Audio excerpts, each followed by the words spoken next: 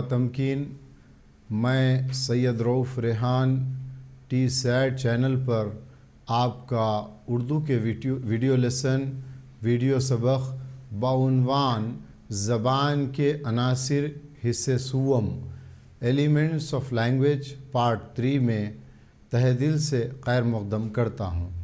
ناظرین، اس سے قبل ہم نے عناصر زبان، حصے اول اور حصے دوم کے تحت جمع بنانے کے طریقوں پر روشنی ڈالی تھی۔ آئیے اسی سلسلے کو مزید آگے بڑھاتے ہیں اور دیکھتے ہیں کہ جمع بنانے کے طریقے کیا ہیں۔ عزیز ناظرین، جمع بنانے کے طریقے چند الفاظ ایسے ہوتے ہیں جن کے شروع میں میم ہوتا ہے۔ ان الفاظ کی جمع بنانے کے لیے میم کے ایک حروف کے بعد علیف کا اضافہ کریں۔ جیسے مسجد کی جمع مساجد ہے۔ مسجد کے میم سین کے بعد علیف کا اضافہ کیا گیا اس مثال میں۔ اسی طرح ہم مزید مثالیں دیکھیں گے، غور کریں گے، جائزہ لیں گے اور آپ سے بھی گزارش ہے کہ آپ مزید مثالیں بنائیں۔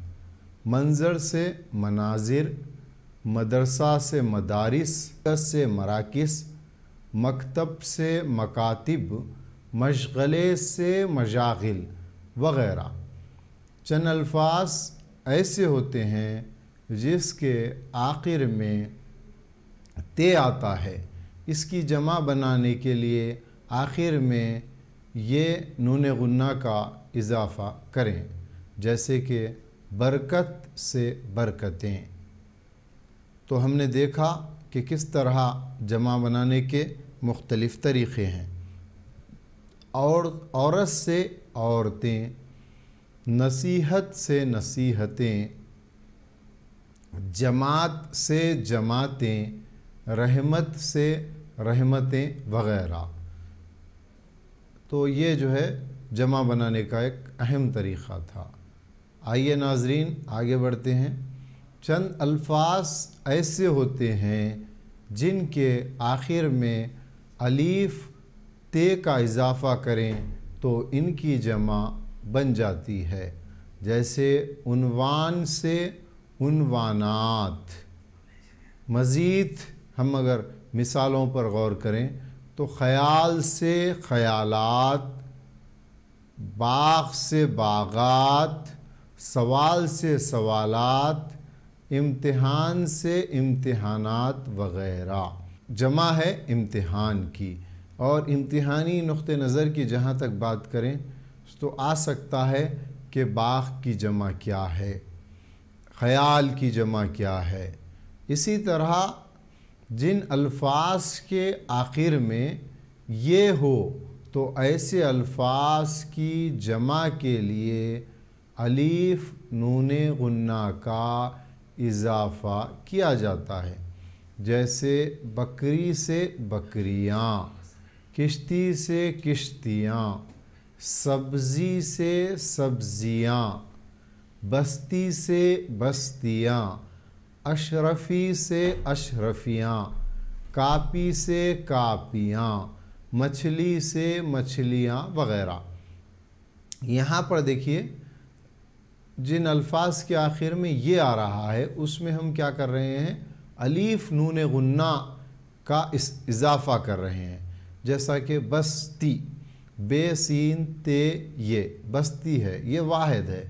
اگر ہم کہہ رہے ہیں کہ حیدرآباد کی بستیاں، تو بستیاں، بے سین، تے کے بعد، یہ کے بعد علیف نون غنہ کا یہاں پر اضافہ کیا جا رہا ہے۔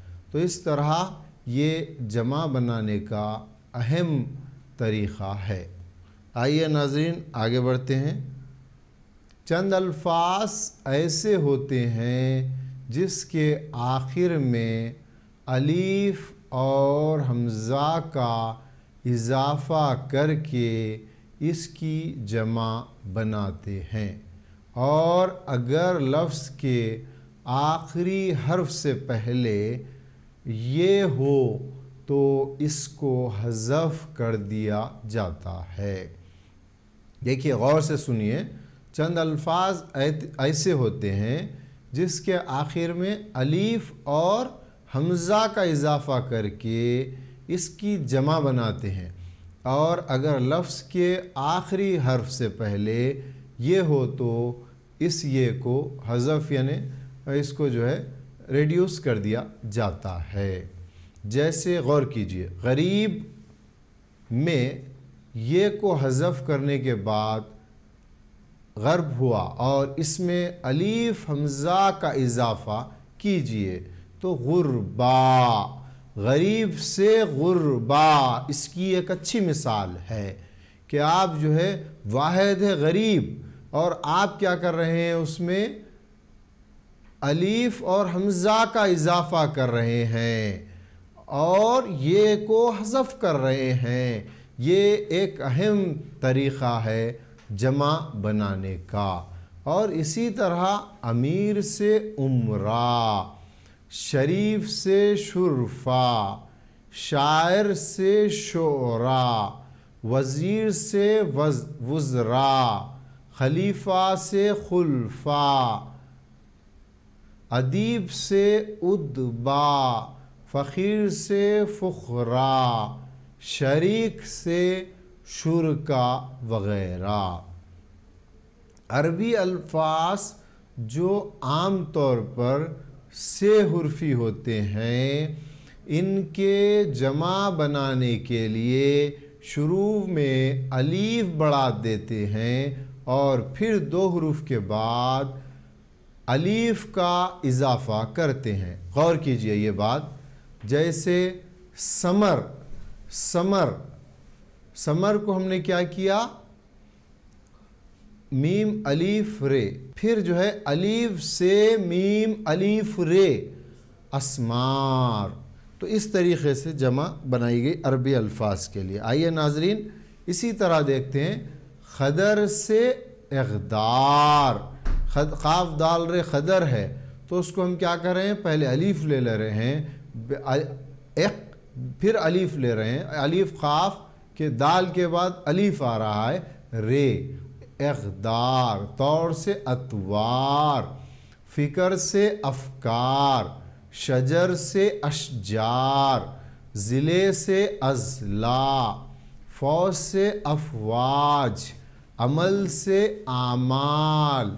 قوم سے اقوام، وقت سے اوقات، فعل سے افعال، ہدایت سے ہدایات۔ تو یہ اہم جمع بنانے کے طریقے ہیں۔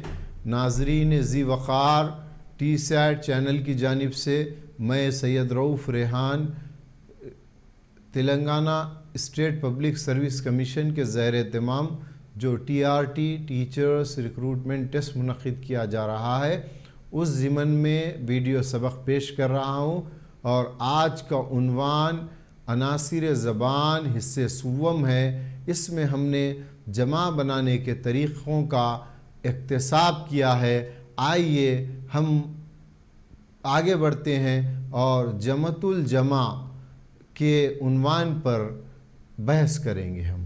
کسی لفظ کی دوہری جمع کو جم الجمع کہتے ہیں۔ ان الفاظ پر غور کیجیے۔ واحد ہے رقم، جمع ہے رقوم۔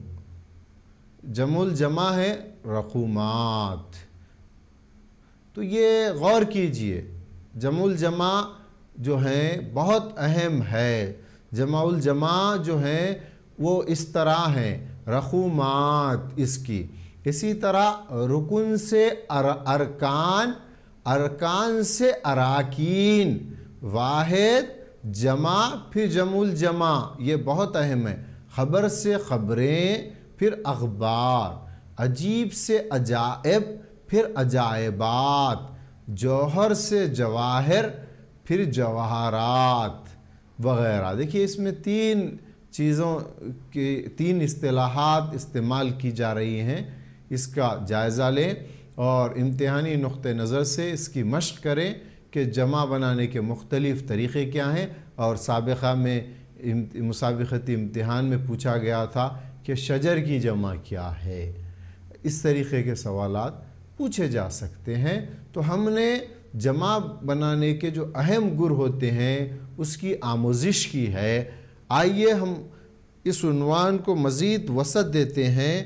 اور elements of language part three کے حصے میں جملہ کے بارے میں جاننے کی کوشش کریں گے اور جملے کے عناصر کے بارے میں جانیں گے، جملے کے اقسام کے بارے میں جانیں گے۔ پھر جو ہے، جملے کے جو مختلف تعلیمی نقطہ نظر سے اطلاقات ہیں، اپلیکیشن ہیں، اس کو بھی جاننے کی کوشش کریں گے۔ دیکھیے، جملہ الفاظ کا وہ مجموعہ ہے جس سے کچھ معنی و مفہوم ادا ہوتا ہے، جملہ کہلاتا ہے۔ جیسے، احمد اردو پڑھتا ہے، کریم انگریزی لکھتا ہے۔ اگر ہم مزید مثالیں دیں تو جا، جاوید موٹر سائیکل چلاتا ہے۔ گلشن تقاریر سلیم پڑھ رہا ہے۔ اس نہج کے جو معنی دیتے ہیں یا مفہوم دیتے ہیں، اس کو ہم جملہ کہتے ہیں۔ جملہ جس طرح حرف کا مجموعہ لفظ کہلاتا ہے، اسی طرح لفظوں کا مجموعہ جملہ کہلاتا ہے۔ ان جملوں کو کا جائزہ لیجیے، غور کیجیے ان جملوں کو پڑھیے۔ سلیم کھاتا ہے۔ شاہین اردو لکھتی ہے۔ پہلے جملے میں سلیم کے تعلق سے بتایا گیا ہے کہ وہ کھاتا ہے۔ جملے میں جس کے تعلق سے کچھ کہا جائے وہ مبتدا کہلاتا ہے۔ اور جس تعلق سے کہا جائے وہ خبر ہے۔ دیکھیے، بہت ہی آسان تفہیم کے لیے، سمجھنے کے لیے اس کی تعریف، یہ بات ذہن نشین کر لیجیے، جس کو ایک تعلق بتاتا ہے، دوسرا تعلق سے کچھ کہتا ہے، اور تیسرا جس تعلق سے کہا جائے۔ پہلا اور دوسرا اور تیسرا۔ اب آگے آئیے تو ہم دیکھ رہے ہیں مبتدا اور خبر کے بارے میں جاننے کی کوشش کریں گے ہم۔ دیکھیے، دوسرے جملے میں شاہین مبتدا ہے جبکہ اردو لکھتی ہے خبر ہے یعنی خبر ہے، اردو لکھتی ہے۔ اور جو شاہین ہے وہ مبتدا ہے۔ ان جملوں میں سلیم اور شاہین اسم ہے اور مبتدا ہیں۔ مبتدا ہمیشہ اسم ہوتا ہے جبکہ کھاتا ہے، فعل ہے۔ خبر، فعل اور اسم دونوں ہو سکتے ہیں۔ یہ بات قابل غور ہے کہ جو مبتدا ہوتا ہے وہ ہمیشہ اسم ہوتا ہے، جبکہ خبر جو ہوتی ہے وہ فعل بھی ہو سکتا ہے یا پھر اسم بھی ہو سکتا ہے۔ تو یہ چیز پر آپ غور کیجیے اور اس کو ذہن نشین کر لیجیے۔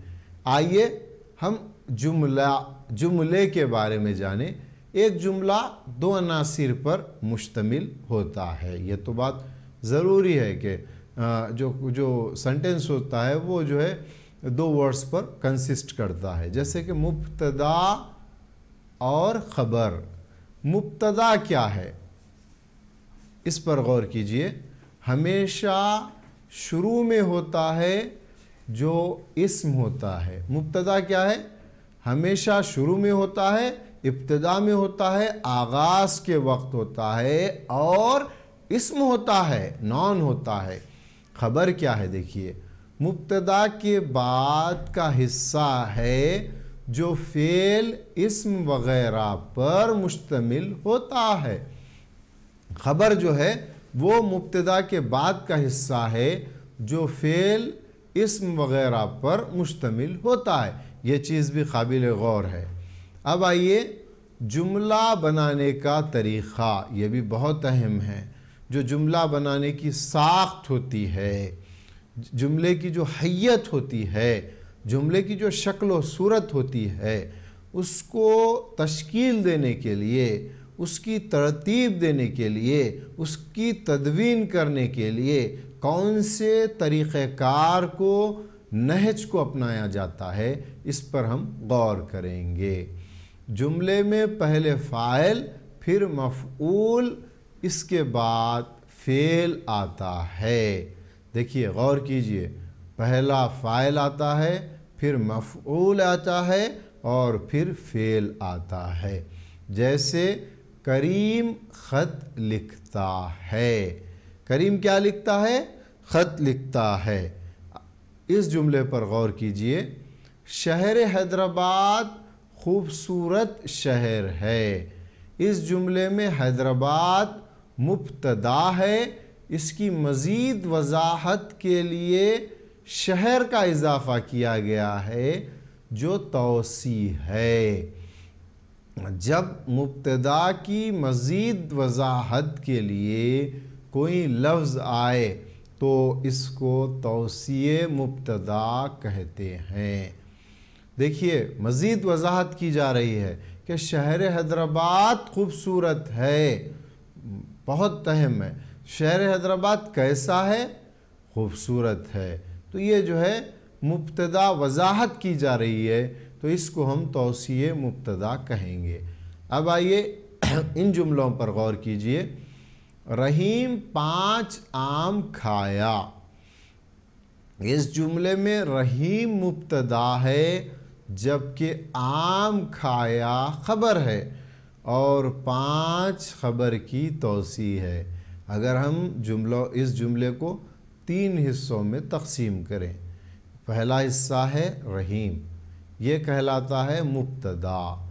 دوسرا حصہ ہے عام، کھایا۔ یہ جو آخر میں آ رہا ہے، یہ جو ہے خبر دے رہا ہے۔ اور پانچ خبر کی توسیع یا پھر وسط دے رہا ہے۔ تو اس طرح مبتدا، یہ ہے خبر یہ ہے اور خبر کی توسیع۔ پانچ ہے۔ عزیز ناظرین، اس کی مشق کیجیے تاکہ امتحانی نقطہ نظر سے آپ کو آسانی ہو پائے۔ دیکھیے، اب آئیے، ہم آگے بڑھیں گے اور کچھ پریکٹس ٹیسٹ مشقی سوالات پر بھی آپ غور کر سکتے ہیں۔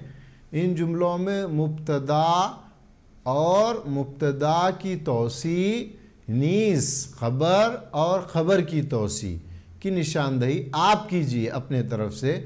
جاوید روزانہ اپنے دوستوں کے ساتھ میدان کھیلنے جاتا ہے۔ حامد روزانہ اپنے دوستوں کے ساتھ اسکول جاتا ہے۔ میں اور میرے محلے والے اس پرانے کنویں سے پانی پیتے ہیں۔ شہر بھوپال میں اونچے اونچے مکانات اور عالیشان مساجد ہیں۔ اسکولی طلبہ اپنے ہم جماعت کے ساتھ بیت بازی کر رہے ہیں۔ حیدرآباد کو خلی قطب شاہ نے چار سو سال قبل بسایا تھا۔ تو اس میں آپ نشاندہی کر سکتے ہیں امتحانی نقطہ نظر سے۔ آئیے اب بات کریں گے جملے کے اقسام کے بارے میں صورت کے لحاظ سے۔ اس سے قبل بھی ہم نے مفرد اور مرکب جملے پر کافی روشنی ڈالی تھی۔ اب بھی آئیے آج کے عنوان کے تحت، ذیلی عنوان کے تحت، موضوع کے تحت ہم جملے کے اقسام، صورت کے لحاظ سے بات کریں گے۔ مفرد اور مرکب جملہ۔ مفرد جملہ کیا ہے؟ اس کی تعریف سنیے۔ جس جملے میں ایک ہی مفہوم ادا کیا جائے، مفرد جملہ کہلاتا ہے۔ کیا کہلاتا ہے؟ مفرد جملہ۔ دوسرا ہے، مرکب جملہ۔ جس جملے میں ایک سے زائد مفہوم ادا کیے جائیں، مرکب جملہ کہلاتا ہے۔ یعنی دو یا دو سے زائد مفرد جملے مل کر ایک مفہوم ادا کرتے ہیں۔ آسان اگر ہم زبان میں غور کریں تو دو یا دو سے زائد مفرد جملے مل کر ایک مفہوم ادا کرتے ہیں۔ ان جملوں پر غور کیجیے ناظرین۔ حفصہ کھیل رہی ہے۔ حفصہ کھیل رہی ہے۔ سلمہ اسکول سے آئی اور گھر کا کام انجام دی۔ پہلے جملے میں حفصہ کے ایک کام کو بتایا جا رہا ہے یعنی ایک ہی مفہوم کو ادا کیا جا رہا ہے، جبکہ دوسرے جملے میں دو مفہوم ادا کیے جا رہے ہیں۔ جیسے پہلا مفہوم اسکول سے آنا اور دوسرا مفہوم گھر کا کام کرنا۔ اب دیکھیے، مفرد اور مرکب جملوں کی نشاندہی کیجیے حامد آیا اور سو گیا۔ حامد گھر میں سو گیا۔ میں جا رہا تھا، اس نے پکارا۔ مجھ کو اس نے للکارا۔ یہ پڑھا ہی نہیں، بلکہ ذہن نشین بھی کیا۔ احمد پڑھ کر ذہن نشین کیا۔ عبداللہ کلاس میں اچھا پڑھتا ہے۔ سبق کو خوش خط لکھو۔ اب آئیے ہم نے ابھی مفرد اور مرکب جملوں پر روشنی ڈالی اور اس کی مثالوں پر بھی غور کیا اور اس کی مشق بھی کے لیے بھی آپ کو سوالات اسکرین پر ظاہر کیے گئے۔ آئیے اس کے بعد ہم جملے کی قسموں کے بارے میں جانیں گے اور معنی کے لحاظ سے جو جملے کی قسمیں ہیں، اس پر ہم بات کریں۔ جملہ خبریہ اور جملے انشائیہ۔ جملہ خبریہ پہلا جو ہے، وہ جملہ جس میں کسی واقع یا حالت یا کیفیت کی خبر دی جائے اور اس میں سچ یا جھوٹ کا گمان پایا جائے، جملہ خبریہ ہے۔ مثلا، ارشد بیمار ہے۔ ارشد بیمار ہے، نعیم بیمار ہے، سلیم کی طبیعت ناساز ہے۔ ان ان جملوں پر غور کیجیے، اس جملے پر شاہین سبق پڑھ رہی ہے۔ اس جملے میں شاہین کے سبق پڑھنے کی خبر دی جا رہی ہے۔ اس میں سچ اور جھوٹ کا گمان ممکن ہے۔ آئیے جملہ انشائیہ کے متعلق جاننے کی کوشش کریں گے۔ وہ جملہ جس میں کہنے والے کا دلی منشا یا جذبات ظاہر ہو اور اس میں سچ و جھوٹ کا گمان نہ ہو، جملہ انشائیہ کہلاتا ہے۔ اس جملے پر غور کیجیے۔ سلیم سے کہو کہ وہ وقت لکھے۔ دیکھیے، اس جملے پر غور کیجیے۔ ہم یہاں پر کہہ رہے ہیں کہ سلیم سے کہو کہ وہ خط لکھیں اسی طرح کہہ سکتے ہیں ہم، نعیم سے کہو کہ وہ یوم جمہوریہ کے متعلق مضمون قلم بند کریں۔ اب دیکھیے، ان جملوں میں جملہ خبریہ اور جملہ انشائیہ کی نشاندہی کیجیے۔ تم پابندی سے اسکول جا رہی ہو؟ ارے بچوں، کدھر گئے؟ چاند چمک رہا ہے۔ اذاں کی آواز آ رہی ہے۔ شاباش، تم نے اچھا کام کیا۔ آج گرمی بہت ہے۔ دہلی خوبصورت شہر ہے۔ گلاب سرخ ہے۔ یہ جو ہے مثالیں تھیں جس سے آپ کو سمجھنے میں آسانی ہوگی۔ آئیے ناظرین، ہم اس ویڈیو سبق کو وسعت دیتے ہیں اور ٹی سیٹ چینل کی جانب سے یہ ویڈیو سبق پیش کیا جا رہا ہے اور T R T teachers recruitment test, جس کا اہتمام Telangana state public service commission کی جانب سے کیا جا رہا ہے۔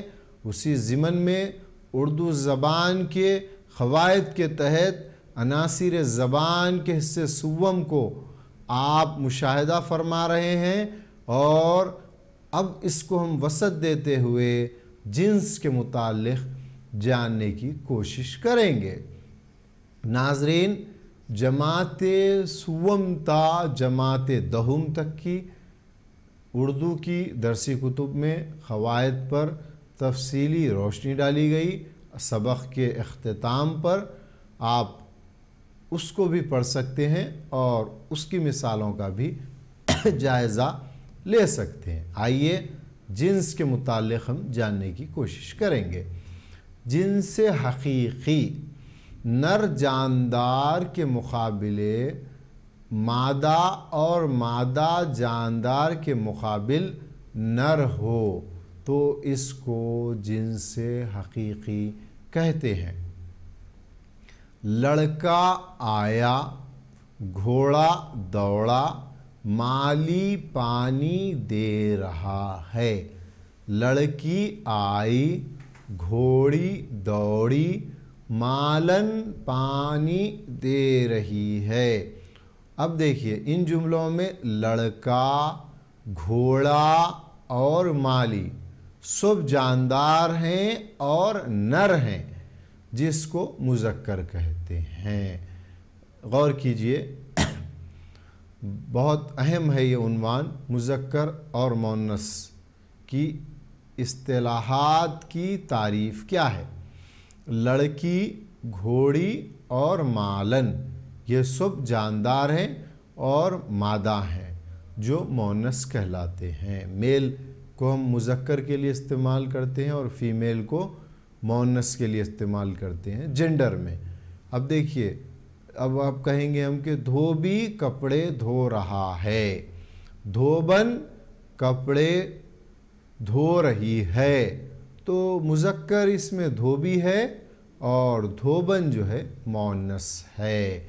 تو اس قسم کے آپ کئی مثالیں بنا سکتے ہیں اور اس کی مشق کر سکتے ہیں۔ یہاں پر صرف مسابقتی امتحانات کے پیش نظر اور تلنگانہ کے درسی کتب کو ملحوظ رکھتے ہوئے یہ ویڈیو لیسن پیش کیا جا رہا ہے۔ آئیے ناظرین، آگے بڑھیں۔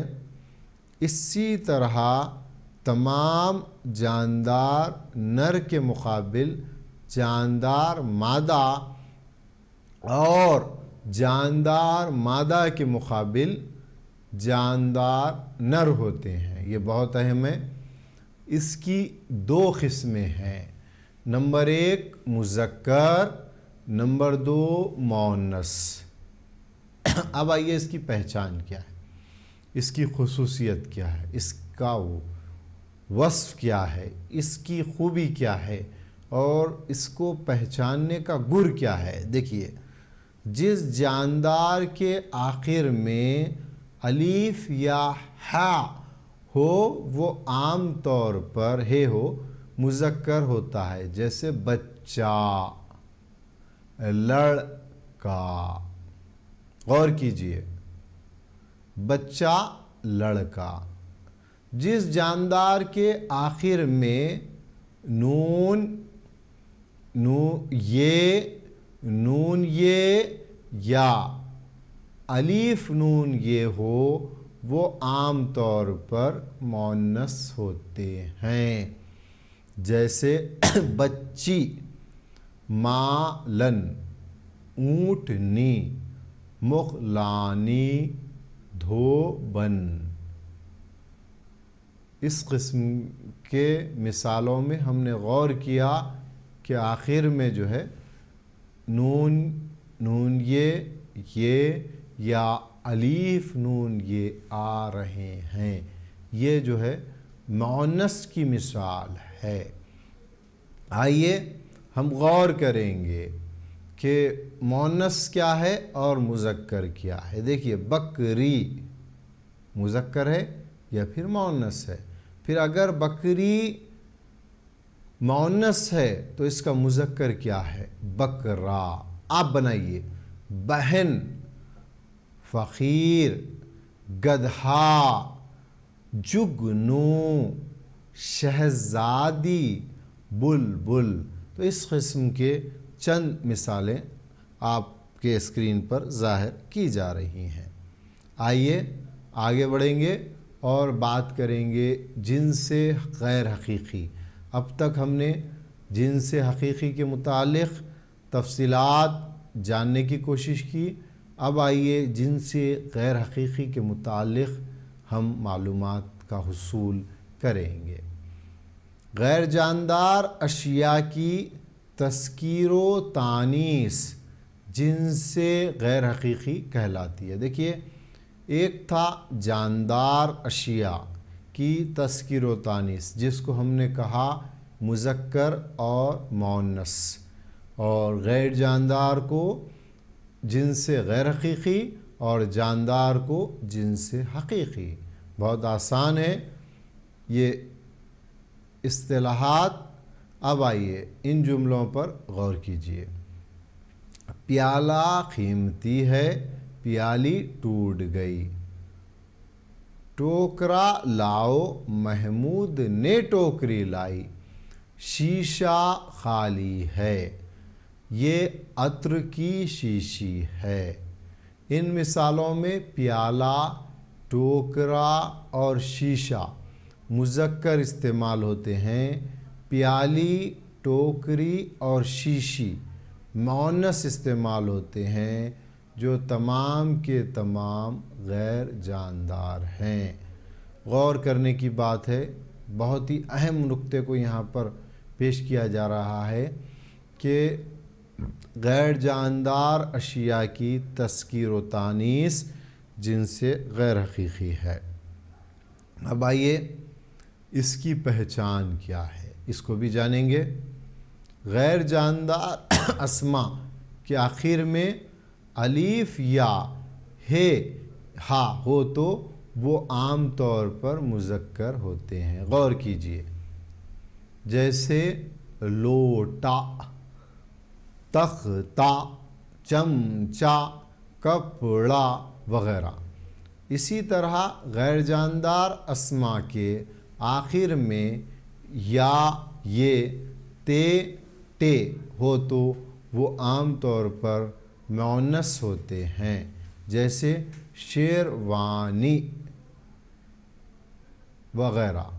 مشق کیجیے، بستی، کھلونا مٹھائی، روزہ، ہر یالی، کرتا، خزانہ، سایہ دانا علاقہ۔ یہ جو ہے، آگویا، آیا مذکر غیر حقیقی یا پھر جو ہے، کیا کہیں گے، جن سے غیر حقیقی میں اس یہ مذکر ہیں یا پھر معنس ہیں۔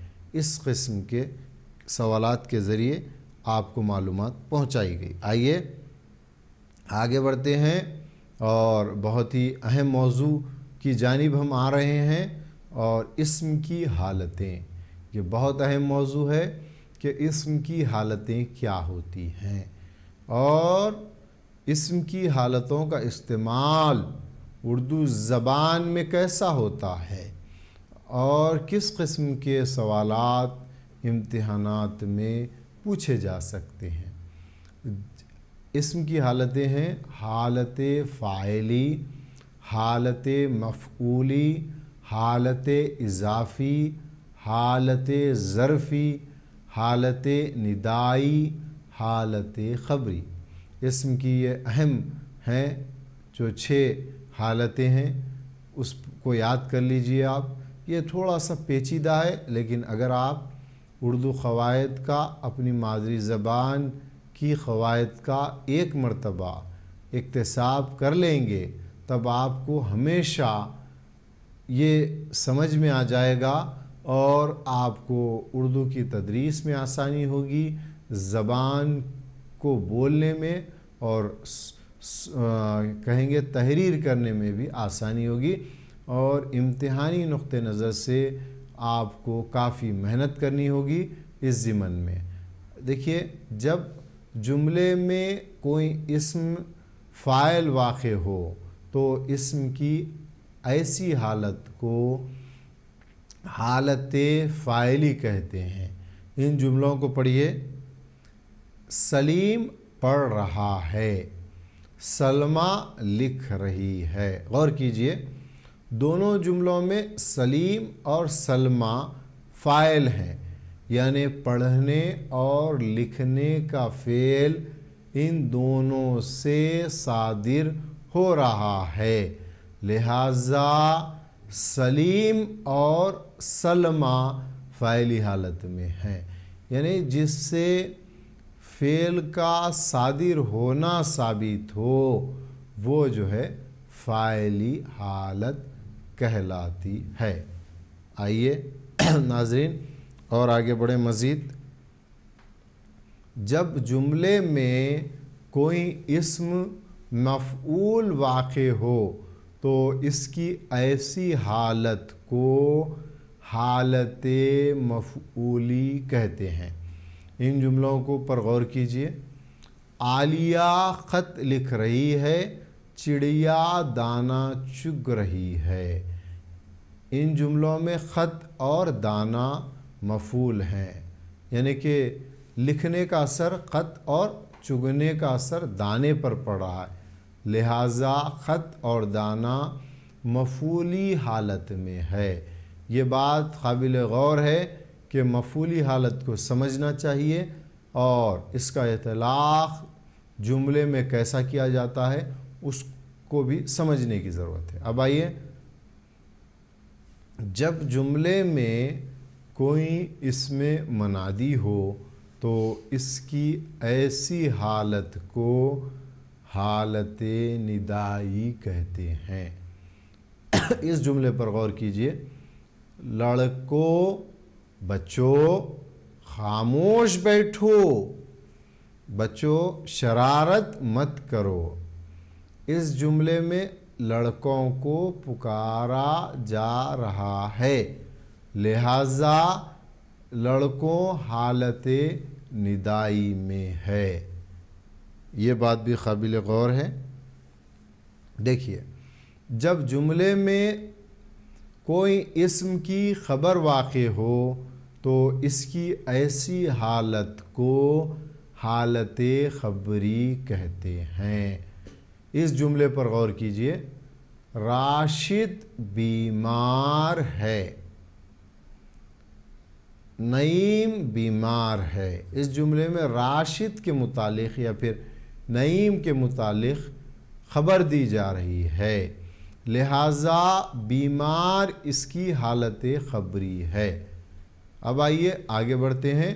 جب جملے میں کوئی اسم مضاف علیہ واقع ہو تو اس کی ایسی حالت کو حالت اضافی کہتے ہیں۔ ان جملوں پر غور کیجیے۔ عالیہ کا گھر۔ حاجرہ کی کتاب۔ گھر کا تعلق عالیہ سے اور کتاب کا تعلق حاجرہ سے بتایا جا رہا ہے یعنی عالیہ اور حاجرہ مضاف علیہ ہیں۔ گھر اور کتاب مضاف کا اور کا کی حرف حرف اضافت ہیں۔ اس لیے عالیہ اور حاجرہ حالت اضافی میں ہیں۔ غور سے اس جملے کو پڑھیے کہ عالیہ کا گھر، حاجرہ کی کتاب، تو اس کو سمجھنے کی آپ کو ضرورت ہے۔ اب آئیے اس کے بعد ہم آگے بڑھتے ہیں۔ کا، کے، کی کی علامت اضافت کہلاتے ہیں۔ احمد کی کتاب۔ جاوید کا کوٹ۔ نعیم کا قلم۔ غور کیجیے ان جملوں پر۔ اسی طرح اگر ہم دیکھیں تو یہاں پر ایک بات واضح ہو رہی ہے کہ کا اور کی۔ اضافت میں استعمال کیے جاتے ہیں۔ اسی طرح جاوید کا گھر سلما کا کمپیوٹر۔ تو اس طرح ہم آگے بڑھتے ہیں اور جاننے کی کوشش کر ہیں کا واحد مذکر کے لیے کہ جمع مذکر کے لیے۔ احمد کی کتاب، احمد کے کتب۔ تو کا واحد کے لیے اور جمع مذکر کے لیے۔ جیسا کہ زید کی بکری، زید کی بکریاں، کی واحد مونس اور جمع مونس کے لیے استعمال ہوتے ہیں۔ جب جملے میں کوئی اس میں ظرف واقع ہو تو اس کی ایسی حالت کو حالت ظرفی کہتے ہیں۔ اس جملے پر غور کیجیے۔ جنید صبح اڑتا ہے اور اسکول جاتا ہے۔ اس جملے میں صبح اور اسکول اس میں ظرف ہیں جو وقت اور جگہ کو بتا رہے ہیں۔ دیکھیے، غور کیجیے، احمد جن صبح جلد اڑتا ہے اور مسجد کو جاتا ہے۔ تو اس جملے میں صبح اور مسجد۔ اس میں ظرف ہیں جو وقت اور جگہ کو بتا رہے ہیں۔ اس طرح ناظرین زی وقار ہم نے اسم کی چھ حالتوں، حالت فائلی حالت مفولی حالت اضافی، حالت ظرفی، حالت ندائی اور حالت خبری پر اس ویڈیو لیسن پر بحث کی ہے۔ ناظرین باتمکین جیسا کہ ہم نے ٹی سیٹ چینل کے زیر اہتمام پیش کیے جانے والے ویڈیو سبق میں قواعد اردو کے تحت اسم کی حالتوں پر بحث کیا اور حالت فائلی کی تعریف یہاں پر بیان کی گئی اور حالت فائلی کی مثالیں بھی دی گئی پھر حالت مفعولی پر بھی روشنی ڈالی گئی حالت اضافی کے گر بتائے گئے، حالت ظرفی کی خصوصیات پیش کی گئی۔ حالت ندائی کا استعمال کیسے ہوتا ہے؟ اس کی خوبی کو بیان کیا گیا اور حالت خبری کو بھی جو ہے بتانے کی کوشش کی گئی۔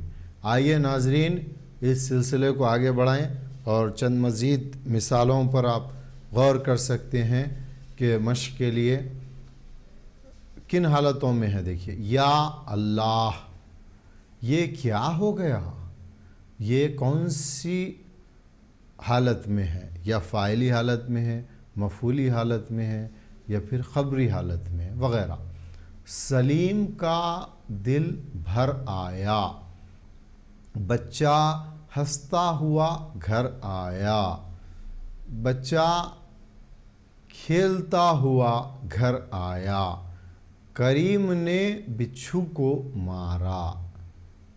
اس قسم کے مثالوں میں آپ مختلف حالتوں کی شناخت کر سکتے ہیں۔ ناظرین، آگے بڑھتے ہیں مزید اور بہت اہم عنوان کی طرف ہم آگے بڑھ رہے ہیں۔ رموز و اوقاف، یہ بہت اہم ہے جس کو ہم انگریزی میں پنکچویشن کہتے ہیں۔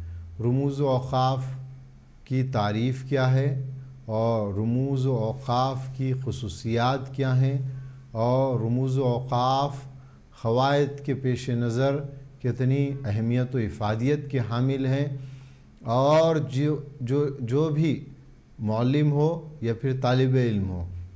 اگر یہ رموز و اوقاف پر مہارت حاصل کر لیتا ہے، تب اس کے لیے زبان کو بولنا اور زبان کو تحریری شکل میں لانا بہت آسان ہو جاتا ہے۔ اور رموز و اوقاف کے بغیر اگر ہم کوئی مضمون لکھتے ہیں تو وہ جو ہے بامانے کی جگہ بے معنی تصور کیا جائے گا۔ اور سب سے اہم قواعد کے پیش نظر رموز و اوقاف کو مرکزی حیثیت دی گئی۔ اگر ہم کوئی سبق بھی پڑھ رہے ہیں تو اس میں بھی رموز و اوقاف کو مرکزی حیثیت رہتی ہے۔ آئیے رموز و اوقاف کو جاننے کی کوشش کریں گے اور اس کا باریک بینی سے جائزہ لیں گے۔ اور میری آپ سے گزارش ہے کہ رموز و اوقاف کا جو موضوع ہے، یہ اس کی اہمیت مسلمہ ہے۔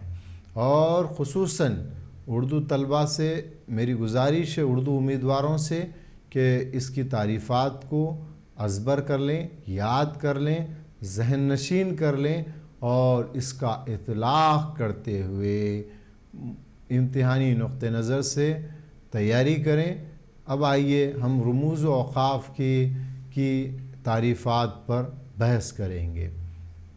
خط ماں فل اسٹاپ انگریزی میں بھی میں ساتھ ساتھ میں اس کی اصطلاح کو بیان کروں گا اور آپ کے اسکرین پر جو اس کی نشانی ہے، جو اس کا سمبل ہے، اس کو بھی پیش کیا جا رہا ہے۔ جملہ ختم ہونے کے بعد آخر میں یہ علامت لگائی جاتی ہے یعنی فل اسٹاپ کی۔ جیسے، نعیم اچھا لڑکا ہے۔ یہاں پر دیکھیے، نعیم اچھا لڑکا ہے۔ یعنی ہے کے بعد جملہ ختم ہو رہا ہے۔ مثلا، ہندوستان میرا وطن ہے۔ میرا تعلق ریاست تلنگانہ کے شہر حیدرآباد سے ہے۔ قلعہ گولکنڈا تاریخی عمارت ہے۔ ان جملوں پر اگر آپ غور کریں گے تو اس میں اس بات کی وضاحت ہو رہی ہے کہ یہاں پر جملہ بامانے ہیں اور مکمل معنی دے رہا ہے، اس لیے ہم آخر میں فل اسٹاپ لگائیں گے اور پھر دوسرے جملے کا ہم آغاز بھی کر سکتے ہیں۔ جیسے کہ ہندوستان کو ذیلی بر اعظم کہا جاتا ہے۔ ہندوستان ہندوستان کا صدر مقام دہلی ہے۔ ہندوستان میں ونتیس ریاستیں ہیں۔ تو اس قسم کے ہر جملہ چونکہ مکمل معنی دے رہا ہے، تو ہر جملے کے بعد آپ فل اسٹاپ کا اطلاق کریں گے، استعمال کریں گے۔ جیسے کہ اب آئیے۔ جو سکتہ ہوتا ہے، اس کی بھی جو ہے آپ کو جو نشانی ہے یا پھر سمبل ہے، اس کو بھی اسکرین پر مختصر سا ظاہر کیا جا رہا ہے، جس کو ہم انگریزی میں کہتے ہیں کاما۔ عموماً اکثر یہ ہوتا ہے کہ ہم انگریزی اصطلاحات کو آسانی سے سمجھتے ہیں، لیکن اردو اصطلاحات سے نابلد ہوتے ہیں، ناواقف ہوتے ہیں۔ اس لیے میری آپ سے گزارش ہے کہ اردو اصطلاحات کو بھی آپ یاد کر لیں۔ کاما جو ہوتا ہے سختہ یہ جو ہوتا ہے، اس میں یہ علامت مختصر ٹھہراؤ کے لیے استعمال کی جاتی ہے۔ جیسے ہندوستان میں ہندی، اردو، تیلگو اور بنگالی وغیرہ بولتے ہیں۔ دیکھیے ہندی کے بعد کام آ رہا ہے، اردو کے بعد کام آ رہا ہے، پھر جو ہے تیلگو کے بعد کام آ رہا ہے، پھر بنگالی آ رہا ہے، پھر وغیرہ آ رہا ہے۔ تو اس میں کام آ رہا ہے، اس لیے جو ہے اس کے لیے آپ مختصر ٹھہراؤ کریں گے۔ جیسے کہ ہندوستان کے اہم مذاہب ہندو مت اسلام عیسائیت اور سکھ ہے۔ اس میں بھی غور کیجیے۔ اس میں بہت اہم بات بتلائی جا رہی ہے کاما کے ذریعے۔ ہندوستان کی جنوبی ریاستیں تلنگانہ آندھر پردیش، کرناٹک اور مہاراشٹرا وغیرہ ہیں۔ اس میں بھی جو ہے ہم کاما کا استعمال کر رہے ہیں۔ صدر مدرس نے طلبہ سے خطاب کرتے ہوئے کہا کہ وہ روزانہ اردو، کاما انگریزی، ریا، کاما ریاضی اور ماحولیاتی مطالعہ سائنس کی کتب ساتھ لائیں اس میں جو ہے سکتا کا یا پھر کامے کا استعمال کیا جا رہا ہے۔ دیکھیے ختمہ وہ ہے جو آخر میں لگایا جاتا ہے، کامہ وہ ہے جو مختصر سے ٹھہراؤ کے لیے استعمال کیا جاتا ہے۔ اس پر غور کیجیے، اس کا باریک بینی سے جائزہ لیجیے اور جاننے کی کوشش کیجیے کہ کامہ کہاں لگایا جا سکتا ہے۔ یا پھر کہاں نہیں لگایا جا سکتا ہے۔ اور فل اسٹاپ کا اطلاق کیجیے۔ اب آئیے ہم بات کریں گے وقفہ۔ یہ علامت طویل ٹھہراؤ کے لیے استعمال کی جاتی ہے۔ کون سی؟ وقفہ۔ یہ جو ہے علامت طویل ٹھہراؤ کے لیے اس کا جو ہے اس کو بروئے کار لایا جاتا ہے۔ جیسے جو بوئے گا سیمی کولن وہ کاٹے گا۔ دیکھیے، غور کیجیے۔ جو بوئے گا، اس کے بعد وقفہ دیا جا رہا ہے، وہ کاٹے گا۔ جیسا کرو گے، پھر وہاں پر سیمی کولن دیا جا رہا ہے، ویسا بھرو گے۔ اس میں غور کیجیے، ختمہ، فل اسٹاپ سختہ کاما اور وقفہ سیمی کولن یہ تینوں کے درمیان تفرقات کو جانیے اور اس پر عبور حاصل کرنے کے لیے کوئی ایک کتاب لیجیے اور پڑھیے اور اس میں دیکھیے کہ ختمہ فل اسٹاپ کا استعمال کہاں پر کیا گیا، پھر سکتے کا اطلاق کہاں پر کیا گیا اور وقفے کو کہاں پر بروئے کار لایا گیا؟ ناظرین، ٹی سیٹ چینل کی جانب سے میں سید روف ریحان، ویڈیو لیسن باعنوان زبان کے عناصر elements of language part three پیش کر رہا ہوں اور Telangana state public service commission کے زیر اہتمام منعقد کیے جانے والے ٹی آر ٹی ٹیسٹ کے لیے جو اردو کا نصاب بنایا گیا، اس میں قواعد کو مرکزی حیثیت دی گئی اور اسی کو پیش نظر رکھتے ہوئے آج ہم نے جاننے کی کوشش کی کہ قواعد کے اہم عناصر کیا ہیں اور ساتھ ہی ساتھ رموز و اوقاف پر پنکچویشن جس کو کہتے ہیں، اس کا بھی جائزہ لیا۔ آئیے ناظرین، اس سلسلے کو آگے بڑھاتے ہیں اور بات کرتے ہیں ہم دو مختلف بیانات میں رابطے کے لیے اس علامت کا استعمال کیا جاتا ہے۔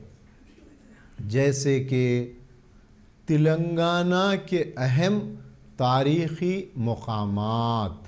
دیکھیے، اس کے بعد رابطے کا استعمال کیا جا رہا ہے، کولن کا، تاریخی مقامات کے بعد۔ مکہ مسجد، خلا گولکنڈا گمدان خطب شاہی اور خلے ورنگل ہیں۔ اسی طرح ہندوستان کے اہم تاریخی مقامات، تاج محل، لال قلعہ، چار مینار خلا گولکنڈا بی بی کا مقبرہ، ہمایوں کا مقبرہ وغیرہ ہیں۔ تو یہ بھی جو ہے رابطے کا استعمال اس میں کیا جا رہا ہے۔ ناظرین زی وقار، جب بھی ہم کوئی کوئی ایک اہم عنوان کا اعلان کرتے ہیں یا پھر کسی ایک اہم عنوان کے تحت کوئی ایک ذیلی عنوان طے کرتے ہیں، تو اس کے بعد رابطے کا بھی جو ہے استعمال کیا جاتا ہے۔ اسی طرح دیکھیے، ہم نے بات کی تلنگانہ کے اہم تحقیقی مراکز کے متعلق۔ اگر بات کریں گے تو وہاں پر بھی جو ہے آپ کو کولن دینا پڑے گا اور اس کی تفصیلات درج کرنی پڑے گی۔ اسی طرح اگر ہم دیگر مثالوں کے ذریعے اس کو سمجھنے کی کوشش کریں گے تو آپ کو امتحانات میں آسانی ہوگی اور آپ اعلیٰ نشانات کا حصول کر پائیں گے۔ ناظرین، میں وقت کی تنگی کی وجہ سے آج کے اس عنوان کا اختتام یہیں پر کرتا ہوں۔ اور آپ سے امید کرتا ہوں کہ آپ ٹی سیٹ کے ویڈیو سبق سے ضرور استفادہ فرمائیں گے۔ شکریہ۔